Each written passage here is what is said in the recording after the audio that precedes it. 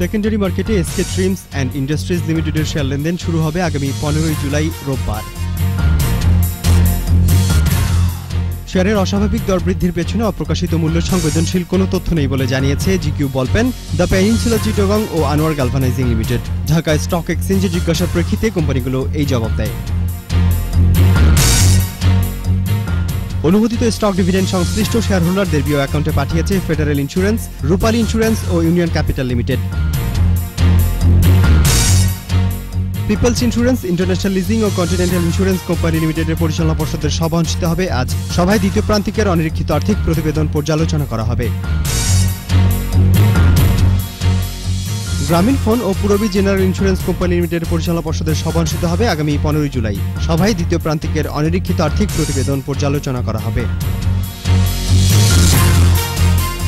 Berger paint Bangladesh লিমিটেডের পরিচালনা পর্ষদের সভা অনুষ্ঠিত হবে আগামী সতেরোই জুলাই। সভায় প্রথম প্রান্তিকের অনিরীক্ষিত আর্থিক প্রতিবেদন পর্যালোচনা করা হবে।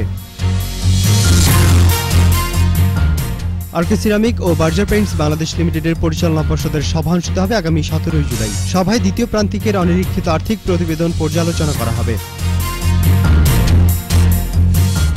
মেরিকো বাংলাদেশ লিমিটেডের পরিচালনা পর্ষদের সভা অনুষ্ঠিত হবে আগামী আঠারোই জুলাই। সভায় প্রথম প্রান্তিকের অনিরীক্ষিত আর্থিক প্রতিবেদন পর্যালোচনা করা হবে।